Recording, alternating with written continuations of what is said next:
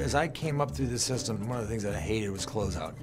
We've got to develop a system where we can finish closeout at the time we finish the job. At the same time we hand over the closeout documents, we hand over all our training videos, we hand over all our keys, we hand over all our attic stock that's been accepted by the owner and signed off. We hand over a complete package. On a flash drive. Yep.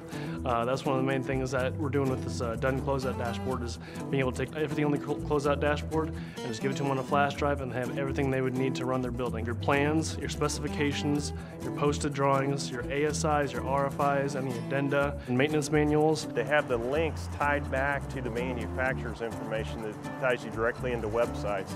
That information is priceless. It can be web-based as well, so you can take this closeout dashboard that we got in the flash drive, stick it on your company's secure server, it's all right there for you.